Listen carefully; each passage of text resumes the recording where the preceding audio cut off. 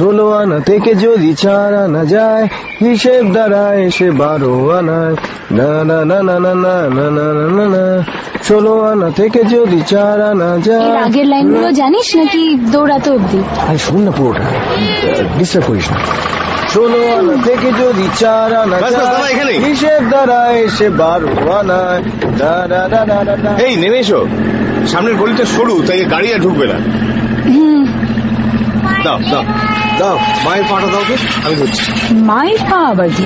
মায়ের পায়ের ছাপ। ফ্রেম বলতে পারো তো? নিজের মা তো নাকি? আরে হ্যাঁ হ্যাঁ ওই হলো। এবার তাড়াতাড়ি গাড়ি থেকে নেমে এসো দেখি। আমাদের জন্য হয়তো পুরো রাস্তাটা বন্ধ হয়ে যাবে।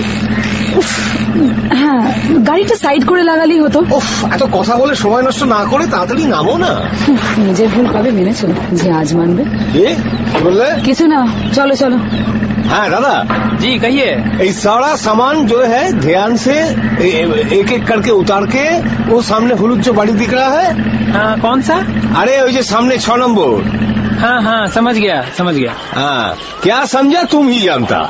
अरे आगे बार बोल तेलीपाड़ा लेन पहुँचे गल नारकेल बागान। जाइ वही हलूद छ नम्बर बाड़ी का दोतला में सामान पहुँचाएगा। हम आगे जाता तुम पीछे पीछे आओ। उफ। তোমার হিন্দিটা না একেবারে জাতা।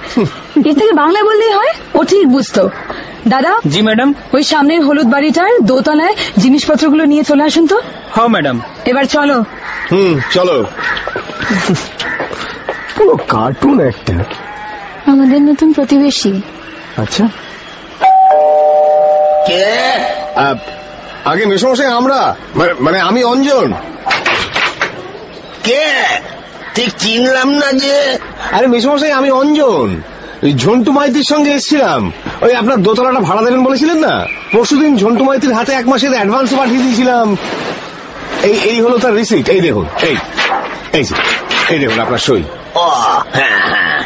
আসলে এই বয়সে সবকিছু কি আর মনে থাকে? সে তো বটেই সে তো বটে কাজ কি মনে করে? কি বলছেন মেসমশাই আজই তো আমাদের শিফট করার কথা। সব জিনিসপত্র নিয়ে চলে এসেছি। এই এই আমার স্ত্রী স্নেহা। নমস্কার।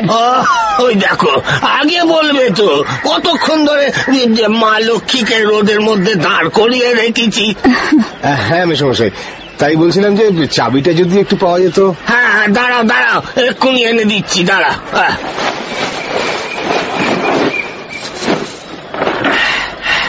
এই না। তোমাদের ঘরের চাবি।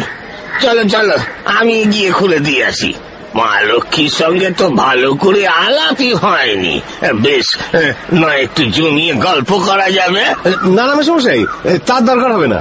আমরা নিজেরাই পারব। আমি তো এসে দেখেই গিয়েছিলাম আমি সব চিনি। আপনাকে আর কষ্ট করে আমার দোতলায় উঠতে হবে না। পরে না হয় মা লক্ষ্মীকে পাঠিয়ে দেবো আপনার সঙ্গে ভালো করে আলাপটা সেরে আসবে। আ তাই? ঠিক আছে তাহলে। নিজেরাই ঘর দেখে না। আসি মেশামশাই এখন তো সব অগোছালো। পরে সে আপনার সঙ্গে জমিয়ে গল্প করে যাব? হ্যাঁ হ্যাঁ হ্যাঁ সে হবে চারিত্রিক দোষ বুঝেছ? এত বয়স হয়ে গেল তবু মেয়ে দেখলে ছুকছুকানি যায়নি। কার কথা বলছো? কার আবার? বাড়িওয়ালা আমাকে দেখে চিনতেই পারছে না। বয়স্ক মানুষ চিনতে ভুল হয়ে গেছে হয়তো। বাজে বোকো না তো? এসব বদমাইশ বুড়োদের আমার খুব চেনা আছে। অ্যাডভান্সের টাকাটা নেওয়ার সময় ঠিক মনে ছিল চাবি দেওয়ার বেলায় বয়সের দোষ হ্যাঁ? আর যেই তোমাকে দেখেছে অমনি সঙ্গে সঙ্গে লাভ মেরে দোতলা আসতে চাইছে। হ্যাঁ, এই শোনো আমি অফিস বেরিয়ে গেলে দরজাটা ভালো করে লক করে রাখবে বুঝেছ? বুড়ো এলেও কিন্তু খুলবে না বলে দিচ্ছি আমি। আচ্ছা আচ্ছা বেশ। এবার দরজাটা খোলো তো। হ্যাঁ। বাবা পিঞ্জির গন্ধটা এখনও তাজা। জানলাগুলো খুলে দাও তো। বেকার লাগবে।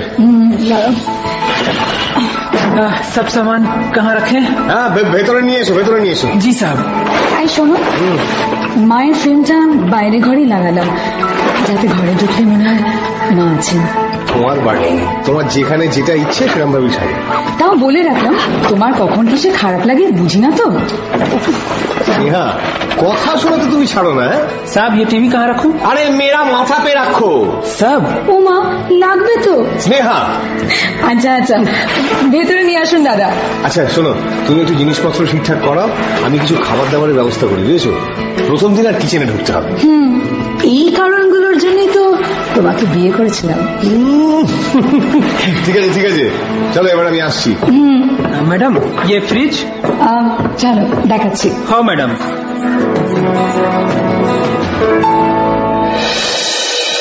ও উফ। বাবা ফাইনালি বিছানায়। কিন্তু খাটটা লাগানো হলো না তো। তোমার মেঝেতে গদির উপর শুতে অসুবিধা হবে না তো? আরে না না একটা রাতে তো ব্যাপার। সে তোমাকে জড়িয়ে ধরেই কেটে যাবে। এই দেখো এই বাড়ির জানলাগুলো কি বড় বড় তাই না? হ্যাঁ এটাই তো নর্থ কলকাতার বাড়িগুলোর পরিচয়। নিজে থেকে সিলিং অব্দি ছোঁয়া জানলা গাড়ি বারান্দা বিভিন্ন উৎসবে পাড়ায় পাড়ায় ফাংশন মোহনবাগান আর মিষ্টি নিয়েই তো নর্থ কলকাতা। আর তোমার ছেলেবেলা তাই তো? ঠিক তাই। না এবার সব বাদ দাও। আর আমার একটু কাছে তো। একদম অসভ্যতমি নয়। নতুন জায়গা তারপর আজ অনেক খাটাখাটনি গেছে। চুপচাপ শুয়ে পড়ো আজ আর কিচ্ছু নয়। এই পিসিমাগুলোর মতন ব্যবহার করো তো। এমনিতেই পেন্টের গন্ধে নাক বন্ধ হয়ে যাচ্ছে। এবার মন একটু অন্য কিছু চায়। কি শুনি? তোমার গায়ের গন্ধ। কিন্তু আর একটাও কথা নয়। চুপচাপ আমাকে এবার একটু আদর করতে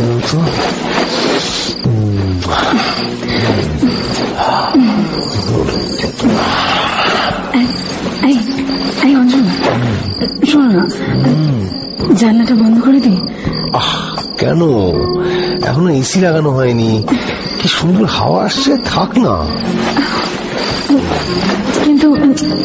শোনো না কিন্তু মনে হচ্ছে কেউ যেন অন্যদের না দেখে আমার উপর একটু কনসেন্ট্রেট করো না হ্যাঁ? শুধু আমি আদর করব। আর তুমি তুমি কি করবে? তুমি কিছুই করবে না?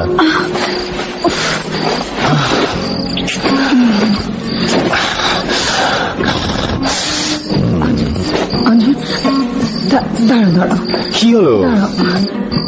না মানে আমার আমার কেমন একটা আনকমফোর্টেবল লাগছে? বলছি তো তুমি খালি মনে হচ্ছে সামনের বাড়ি জানলাটা দিয়ে কেউ দেখছে? নয় জানলাটা বন্ধ করো নয় চুপচাপ ঘুমিয়ে পড়ো। ও তুমি না দায়িত্ব নিয়ে পুরো মুডটার একশো আট করে দিলে। দাঁড়াও জানলাটা বন্ধ করে দিয়েছি দাও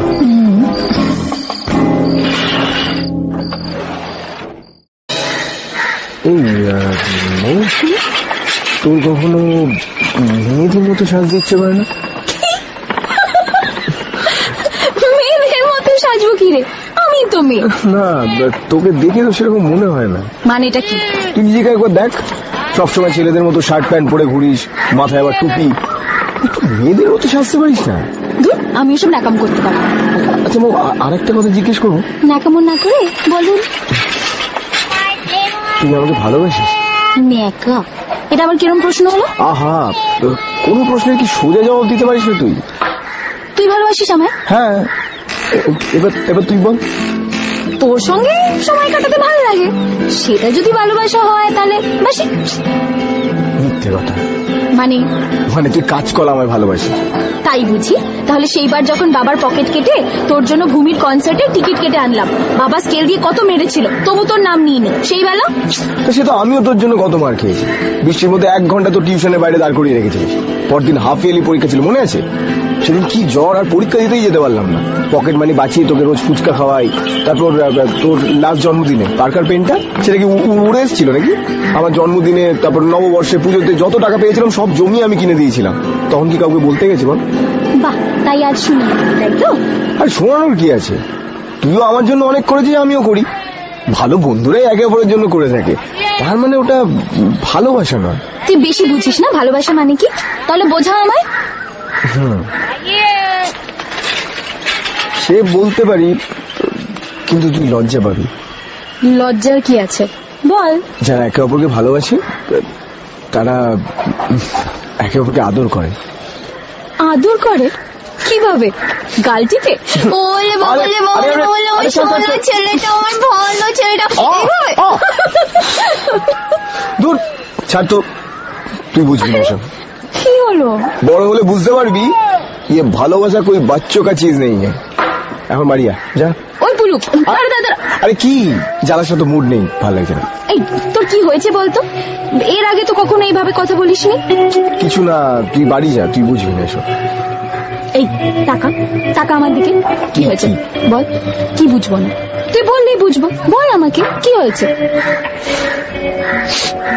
শুনবি। আমার সাথে চল তাহলে। চল।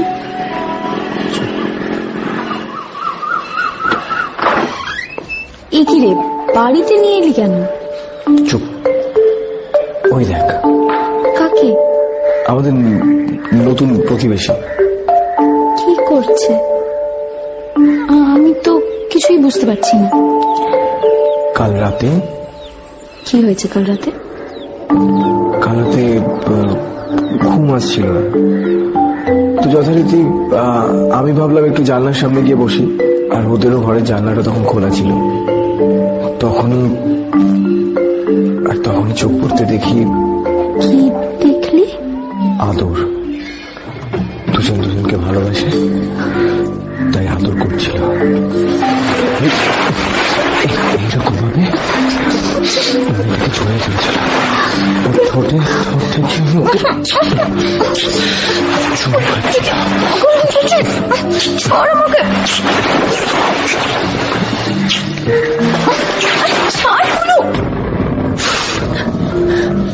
ওকে।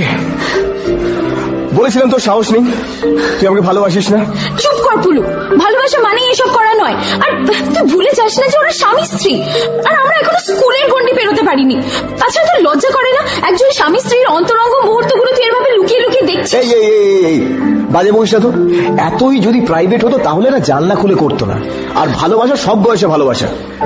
তুই তো আমাকে আজ পর্যন্ত তোর হাতটাও ধরতে দিসনি। এই পুলু তুই সব কি বাজে বকছিস? তোর কি মাথাটা পুরো খারাপ হয়ে গেছে? আবার ওই বাজে বাজে সিনেমাগুলো দেখেছিস না কম্পিউটারে? কি করব? গার্লফ্রেন্ড যখন থেকেও নেই তখন ওই কম্পিউটারই ভরসা। ডিসকাস্টিং এই তুই চলে যা এখান থেকে। বেরো। তাই যাচ্ছি। মাথাটা ঠিক হয়ে গেলে ডেকে নিস। আমার মাথাও ঠিক হবে না আর তোকে আসতে হবে না এখানে। তুই এখন যা। যা খুশি কর। হ্যালো বাবা খুব খুশি খুশি দেখাচ্ছে। কি ব্যাপার? হ্যাঁ? প্রথম দিন নতুন বাড়িতে কেমন কাটলো ম্যাডাম? খুব ভালো। বাহ এনাম এটা ধরো। এটা আবার কি গো? আরে আলু চপ। একটু তেল মুড়ি মাখো তো।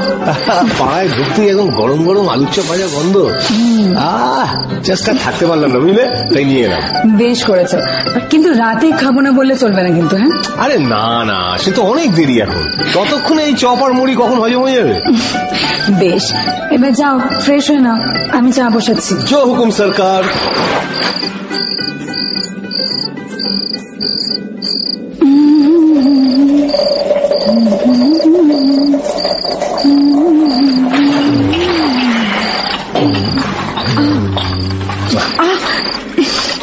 ছাড়ো আর একটু হলে হাতে গরম চাটা করতো।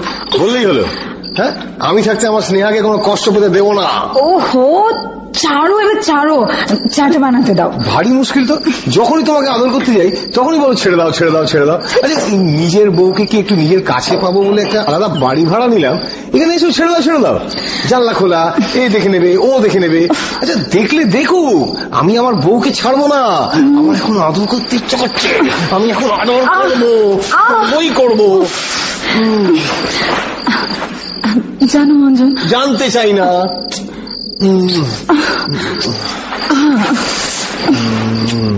আহ অঞ্জন আমার কিন্তু সত্যি তোমাকে কিছু বলার আছে। কি হয়েছে? সিরিয়াস কিছু? না মানে আমি জানি তোমার অবান্তর লাগবে কিন্তু এটাই সত্যি। আমি সারা দিন যখন বাড়িতে একা থাকি কখনো কোনো প্রবলেম হয় না। শুধু যখনই তুমি আমার কাছে আসো আমার সঙ্গে ঘনিষ্ঠ হও।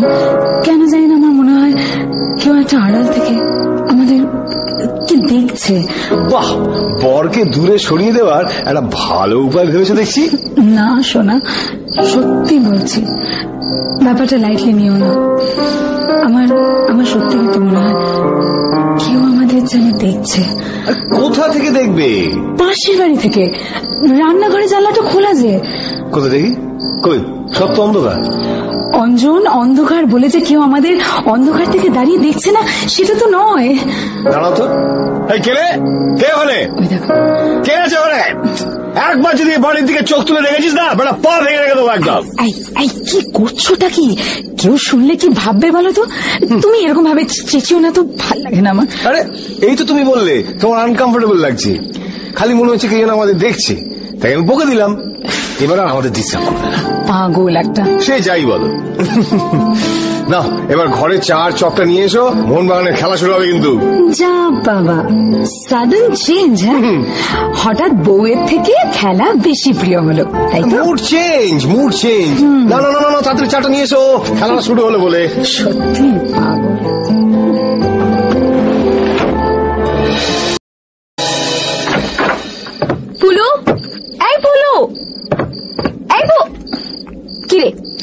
ডাকছি না? ছাদে বসে কি করছিস? নিচে চল। তোর মামি তোকে অনেকক্ষণ ধরে ডাকছে। সে নিয়ে তোকে ভাবতে হবে না। তুই ঘরে যা। তুই এখনও সেই এক গো ধরে বসে আছিস হ্যাঁ? আমি ভাবলাম ছাতে এসে বসেছিস মাথায় ঠান্ডা হাওয়া লেগেছে এবার বোধহয় মাথায় একটু বুদ্ধি হয়েছে। কিন্তু তুই যা জেদি আর ছাদে অন্ধকারের মধ্যে বসে আছিস কেন? চল নিচে কখন থেকে তোর মামি ডাকছে? হাত ছাড় মৌ না ছাড়বো না। আগে চল। ছাড় মৌ দেখলি? ব্যথা লাগল তো? বললাম তো ভালো লাগছে না এখন তুই ফিরে যা। তোর কি হয়েছে বলতো পুলু? তুই কি একদম মাথাটা খারাপ হয়ে গেছে নাকি? তুই তো এত বোকা ছিলি না রে? আমরা সেই ছোটবেলা থেকে একসাথে বড় হয়েছি। একে অপরকে পছন্দ করি ভালোবাসি এতদিন তো তোর এইসব কথা মনে হয়নি? তাহলে আজ হঠাৎ কি হলো তোর? কাটা কাটা এইসব সম্পর্ক সম্পর্ক কাটা। এই সব ফালতু ব্যাপার। তোর একরকম মেন্টালিটি আর আমার একরকম। এসব কাটা কাটিয়ে দে। কাটিয়ে দিয়ে মানে? বললি সব শেষ হয়ে যায় নাকি? হ্যাঁ তাই হয়। এখন যা তো এখান থেকে। না তোকে না নিয়ে আমি কোথাও যাব না। আর কাটা কি হ্যাঁ? এতদিন ধরে তোর সঙ্গে টাইম পাস করছিলাম বুঝি যে আজ হঠাৎ তোর অন্যরকম মনে হচ্ছে বলে কাটিয়ে দেবো? আমার কথাটা শোন পুলু। বোঝার চেষ্টা কর। বোঝা বুঝি কিছু নেই বোঝা বুঝি কিছু নেই তুই যা। তোর কি চাই বলতো আমি তো কিছু বুঝতে পারছি না। ছাড় না এসব অনেক শুনেছি। কাজের বেলায় সব ভাবা বেরিয়ে যায় সবার। আচ্ছা ঠিক আছে। আই এম সরি আমাকে বল কি হয়েছে? তোর কি চাই? আমি সবকিছু করতে রাজি। আমি প্রমিস করছি আমি ঘাবড়াবো না। তুই তুই বল তুই বল কি করতে হবে? কি রে বল। এখন তাহলে কখন? রাতে বলব তোকে। মানে সবাই শুয়ে পড়লে সিঁড়ির সামনে জানলাটায় অপেক্ষা করব যদি আসিস বুঝব সত্যি আমাকে ভালোবাসিস আর না এলে আর কোনোদিনও আসতে হবে না আমার কাছে। বেশ তাই হবে। এখন চল তোর মামি কিন্তু সত্যি অনেকক্ষণ ধরে তোর খোঁজ করছে। চল। কি চল। আচ্ছা তুই জানলি কি করে আমি ছাদে? মোল্লার দৌড় মসজিদ অব্দি ছোটবেলার থেকে একসাথে বড় হয়েছি। চোখ খুলে বাবা মার পর তোকে দেখেছি। আর এটা জানব না? মাথা খারাপ হলে ছাতে এসে বসে থাকিস? নে এবার চল। দাঁড়া দাঁড়া দাঁড়া দাঁড়া। আরেকটা কথা আছে। আবার কি? রাতে যখন আসবি এই শার্ট প্যান্ট পরে নয় তাহলে? একটা মেয়ে সেজে আসবি। আচ্ছা সেসব দেখব। এখন চল। না না না। আগে কথা দিই? আচ্ছা বাবা কথা দিলাম। God promise. এবার চল।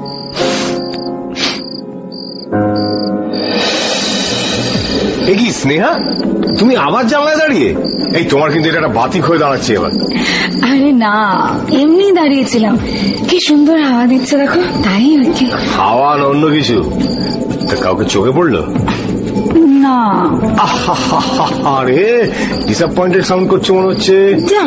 ডিসঅ্যাপয়েন্টেড হতে যাব কেন? না এতদিন কেউ তোমাকে একটা দেখছিল আজ আর ইন্টারেস্টেড নয়। আমার বই গেছে। যতক্ষণ আমার বরের আমার প্রতি ইন্টারেস্ট আছে আমার আর কিচ্ছু চাই না। তাই বুঝি? কিন্তু বরকেও তো আদর করতে দাও। না হ্যাঁ আর আমার বর কত আমার কথা শোনার পাত্র। বেশ এখনই প্রমাণ হয়ে যাক? চলো। কি রে তুই আস্তে আস্তে আস্তে। কি কখন থেকে তোর জন্য ওয়েট করছি তুই জানিস? দাঁড়া দাঁড়া। আরে অনেকক্ষণ থেকে ওয়েট করছি। এতক্ষণ লাগালি কেন? চুপ কর। দেখা করতে হবে সেজে গুজে আসতে হবে। তার জন্য একটু সময় তো লাগে নাকি? তাই? কই এদিকে জানলার কাছে তোকে ভালো করে দেখি। কি হলো? বোকার মতো এরকম ফ্যাল ফ্যাল করে তাকিয়ে আছিস কেন? কি হলো? খুব বাজে লাগছে নিশ্চয়ই। জানতাম এইসব শাড়ি টাড়ি আমার জন্য নয়। দাঁড়া আমি এখনই পাল্টে দাঁড়া। আমি একবারও বলেছি তোকে খারাপ লাগছে। ভালো লাগছেও তো বলিসনি। হুম। এর আগে তো তোকে কখনো এইভাবে দেখিনি। তাই হজম হতে একটু কষ্ট লাগল। আপনি খুশি তো? এত তাড়াতাড়ি? তারা এখন তো আসল পরীক্ষাটাই বাকি।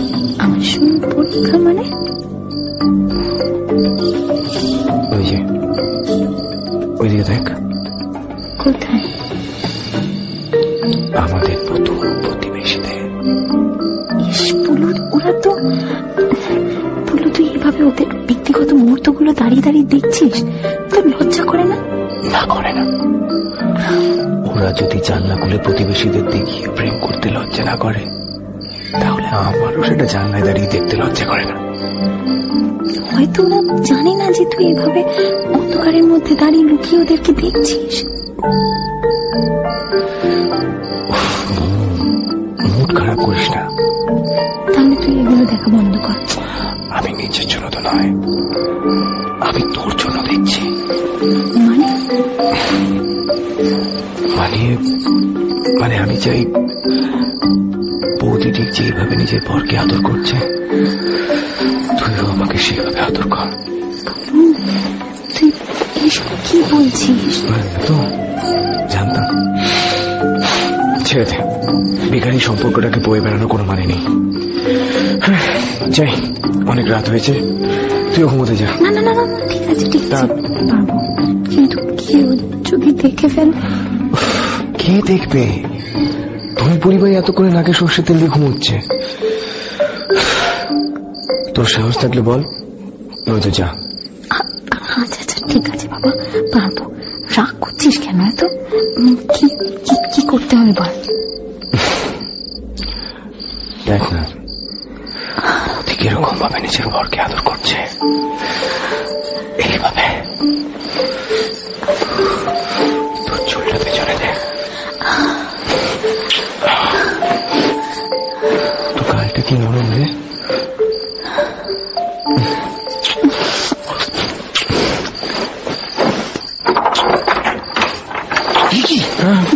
তোরা এখানে কি করছিস জেঠু সাথে কি যে- যে- যে- বাবা জেঠু ভুল হয়ে গেছে। Sorry, sorry, জেঠু, কাউকে বলো না প্লিজ জেঠু জেঠু আর হবে না জেঠু জেঠু বাবা প্লিজ তুমি ভুল বুঝছ বাবা।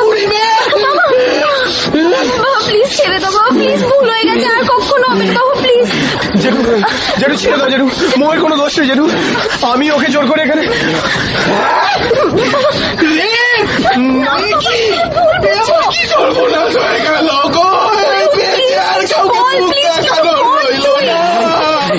কি হচ্ছে? কি হয়েছে? কি হয়েছে? হয়েছে? নাকি দেখুন দেখুন আপনার ভাগ্নে আমার মেয়ের সঙ্গে জবরদস্তি করছিল।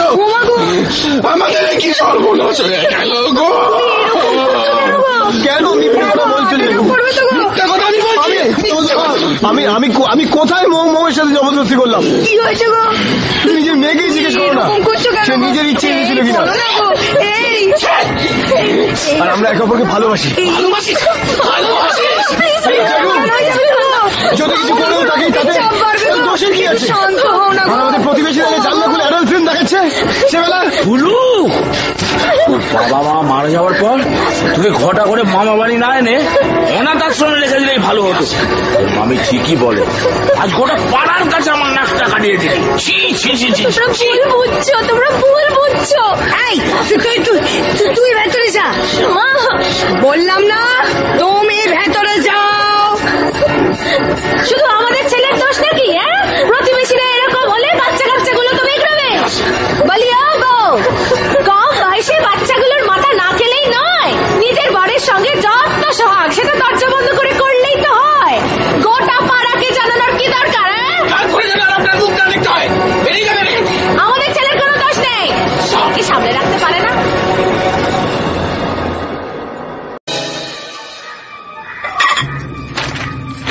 হয়েছে ভুলে যাও স্নেহা এত সহজ নয়।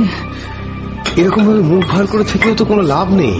আমি তোমার মতো এত লাভ ক্ষতির হিসেব করতে পারি না। আচ্ছা তোমার কি মনে হয়? যা হয়েছে সেটা আমার জন্য মেনে নেওয়া খুব সহজ হ্যাঁ? কিন্তু আমার তো তোমার মতো এরকম ঘরে মুখ লুকিয়ে বসে থাকলে চলবে না।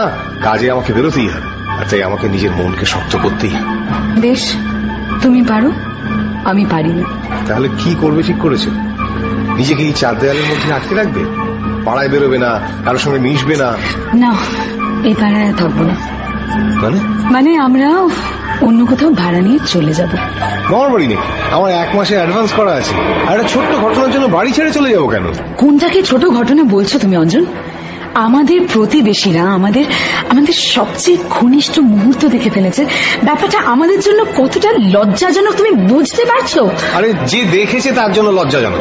আমি আমার বাড়িতে নিজের বউয়ের সাথে যা ইচ্ছে তাই করতে পারি। সেটা অন্য কেউ নিজের বাড়িতে বসে দেখবেই বা কেন? আমি তোমাকে অনেকবার বলেছিলাম আমার মনে হচ্ছিল পাশের বাড়ি জানলা দিয়ে কেউ একটা আমাদের দেখছে। কিন্তু না তুমি আমার কথা শুনলে তো। উফ যা হওয়ার তো হয়ে গেছে। সে নিয়ে এত ভেবে আর কি করবে এখন হ্যাঁ? এবার শেষ করো। না অঞ্জন এখানে শেষ নয়। এখান থেকেই গন্ডগোলের শুরু। তুমি আমার কথা মিলিয়ে নিও। রিল্যাক্স আমি দেখছি। দেখি মেসমশাই? সকাল সকাল আপনি এখানে? পুলিশ এসেছে তোমাদের ডাকছে। একবার নিচে এসো। পুলিশ? আমাদের ডাকছে? কেন?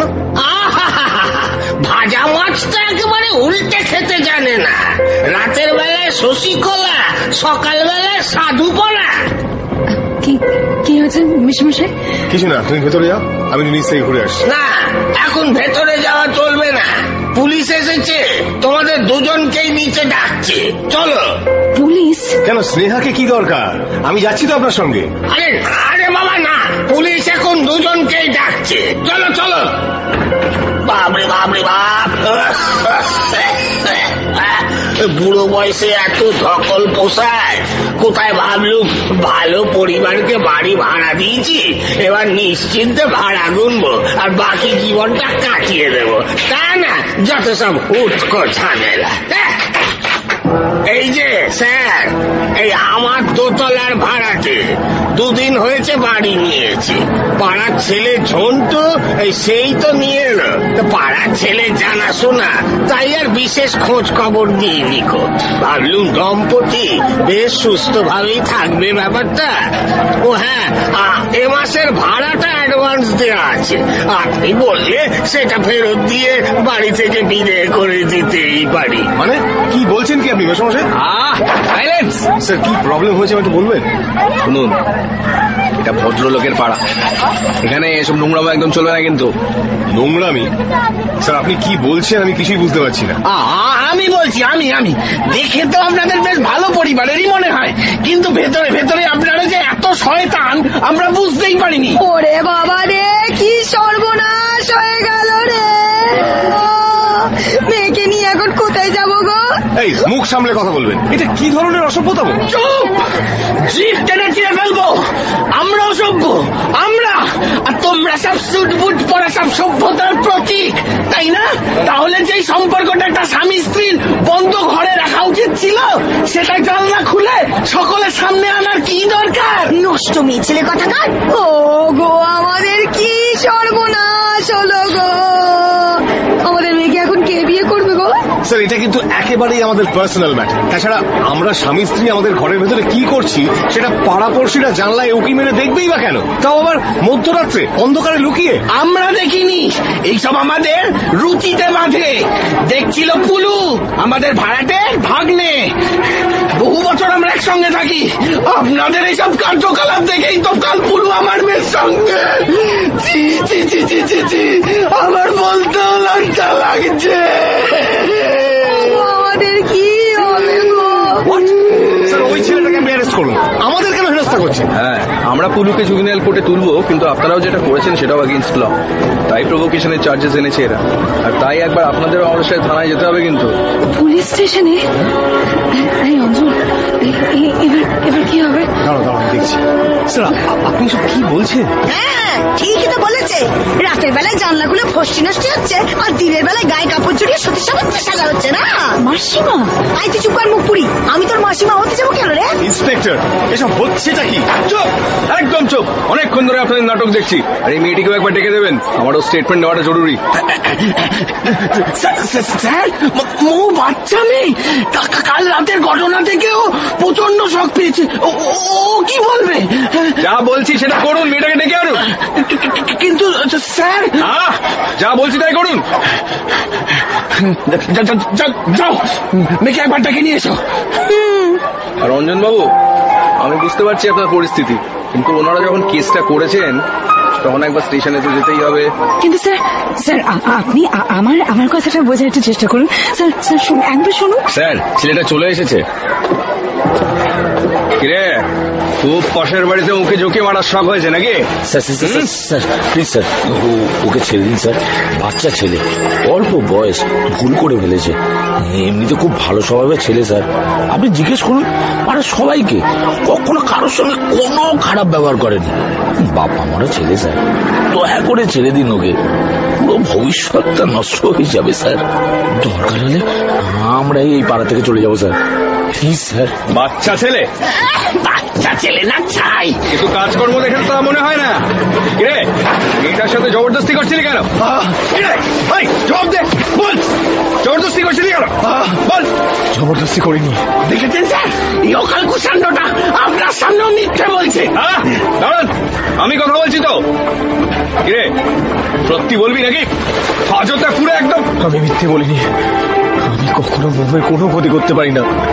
আমরা সেই আমরা সেই ছোটবেলা থেকে একে অপরের সঙ্গে বড় হয়েছি। ভালোবাসি আমরা দুজন দুজনকে। আর যারা ভালোবাসে তারা এরকম করেই থাকে। আমি আমি জানলা দিয়ে দেখেছি।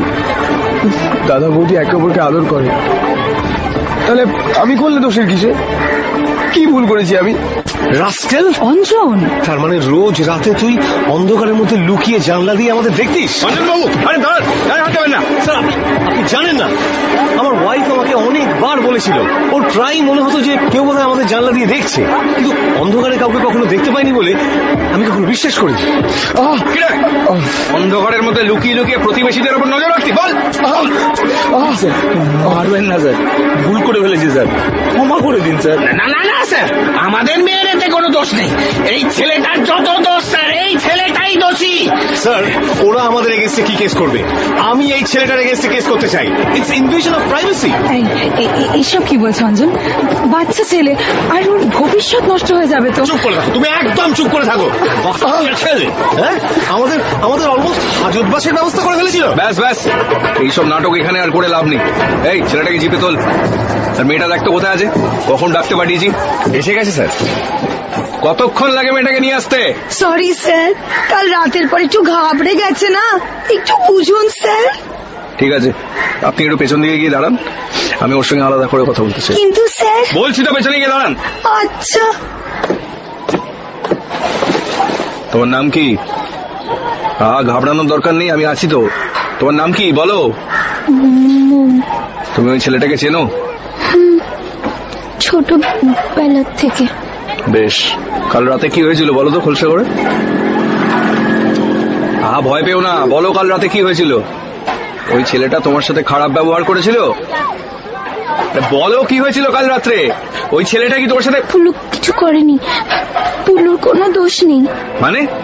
কিন্তু তোমার বাবা তো বলছিলেন বললাম তো পুলুর কোনো দোষ নেই। ও কিছু করেনি। স্যার ও ও বাচ্চা মেয়ে। ভয় ভুলভাল বলছে। চুপ করে দাঁড়িয়ে থাকুন ওখানে। তুমি বলো তো মু। কাল এক্স্যাক্টলি কি হয়েছিল? তোমার একটা ভুল কিন্তু পুলুর জীবন নষ্ট করে দিত। বাবা যেরকম বলছে কাল রাতে সেরকম কিছু হয়নি স্যার। আমি আর পুলু একে অপরকে সত্যি খুব ভালোবাসি। রাতের বেলা বারান্দার জানলার সামনে দুজনে দাঁড়িয়েছিলাম শুধু। তখনই বাবা চলে আসেন আর পুলুকে দেখে হঠাৎ করে রেগে গিয়ে চেঁচাতে শুরু করে। তার মানে পুলু তোমার ওপর কোন রকম জবরদস্তি করেনি তাই তো? না পুলু কখনো আমার কোনো পারে না। তার মানে তোমার বাবা মিথ্যে কথা বলছে। ও অন্ধকারে অন্ধকারে বাবা বোধহয় ঠিক করে বুঝতে পারেননি। অনেকদিন ধরে পুলুর সঙ্গে বাবার একটা ঝামেলা চলছিল। সেই জেরেই বোধহয় ব্যাপারটা বেশি বিগড়ে গেছে। স্যার পুলুর কোনো দোষ নেই। স্যার প্লিজ ওকে ছেড়ে দিন। স্যার প্লিজ ওকে ছেড়ে দিন। তাহলে দাসবাবু? হ্যাঁ হ্যাঁ হ্যাঁ স্যার গল্পটা তো ঘুরে গেল দেখছি। না মানে স্যার। স্যার স্যার নয়। পুলিশের কাছে তথ্য গোপন করার জন্য সময় নষ্ট করার জন্য পারিবারিক ঝামেলাকে একেবারে অন্যভাবে সাজিয়ে তোলার জন্য আপনার হাজতবাস করাই? না, স্যার, ভুল হয়ে গেছে স্যার অন্ধকারে বুঝতে পারিনি স্যার। Sorry sir. আমরা কেসটা তুলে নিচ্ছি। স্যার আমরা কেসটা তুলে নিচ্ছি। সব। অঞ্জন বাবু আপনি কিন্তু চাইলে ছেলেটার এগেন্স্টে কেস করতে পারেন। না আমরা কোনো কেস করতে চাই না। হ্যাঁ বাচ্চা ছেলে ভুল করে ফেলেছে। এ কারোর ভবিষ্যৎ নষ্ট হয়ে যাবে। ছেড়ে দিন। ওকে। এই ছেলেটাকে ছেড়ে দে। ওই নাম নাম নাম নেমে আয়। কি রে? লেগেছে তাই না? বললেই হলো গালটা লাল হয়ে আছে। তুই তুই সত্যি এত ভালোবাসিস মু এর থেকে অনেক বেশি ভালোবাসি। তুই এতদিনে বুঝলি। সত্যি তোর সাহস আছে। শুধু আমার জন্য নিজের বাবার বিরুদ্ধে চলে গেলি। বলেছিলাম তো। গড প্রমিস করেছিলাম। আমি তোর জন্য সব করতে পারি। আই লাভ ইউ মো রিয়েলি লাভ ইউ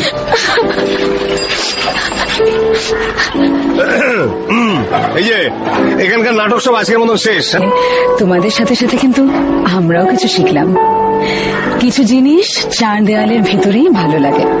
তাই এবার থেকে নিজের ভালোবাসাকে রেসপেক্ট করতে শেখো। চলো স্নেহা, এবার আমরাও বাড়ি যাই।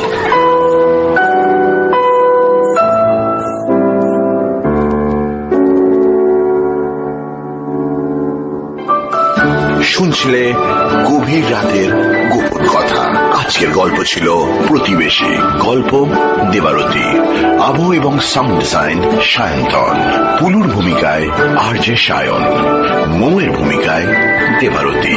অঞ্জনের ভূমিকায় আর জে শেখর। স্নেহার ভূমিকায় আর জে জিনিয়া। পুলুর বাবা এবং মায়ের ভূমিকায় অভিক দাস এবং আর জে রুথলেন। মৌয়ের বাবা এবং মায়ের ভূমিকায় সায়ন্তন এবং আর জে মানালি ইন্সপেক্টরের ভূমিকায় মৈনাক। পার্শ্ব চরিত্রে ইন্দ্রনীল এবং শাহানুল্লাহ খান।